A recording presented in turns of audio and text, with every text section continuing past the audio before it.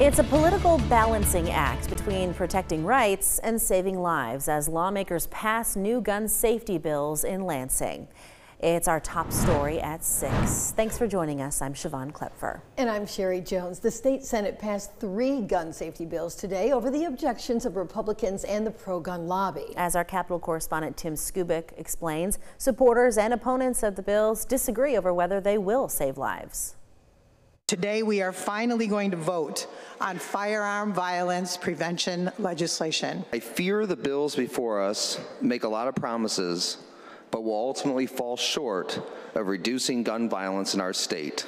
The Michigan Senate has approved stronger background checks before anybody can purchase a weapon. The Democrats also ordered gun owners to lock up their weapons, and the Democrats gave the courts the authority to take weapons away from those who might abuse their weapons, with the Democrats claiming the citizens in Michigan favor these laws. 89% of the people in Michigan favor this simple expansion of our current background checks. 88% of our constituents are in favor of this safe storage legislation. Red flag laws are favored by Michiganders over 75%.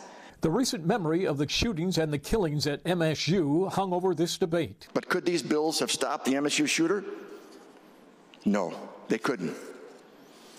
They will give people a sense of false security all while infringing on everyone's right to own a firearm, to hunt, or even defend themselves and their family. I urge a no vote against these bills because they won't prevent future violence. The two sides strongly disagreed on whether these bills would actually save lives. And in an interesting twist, two senators disagreed on the impact these measures would have on female safety. To promise grieving families that, quote, these bills will save lives, unquote, is irresponsible.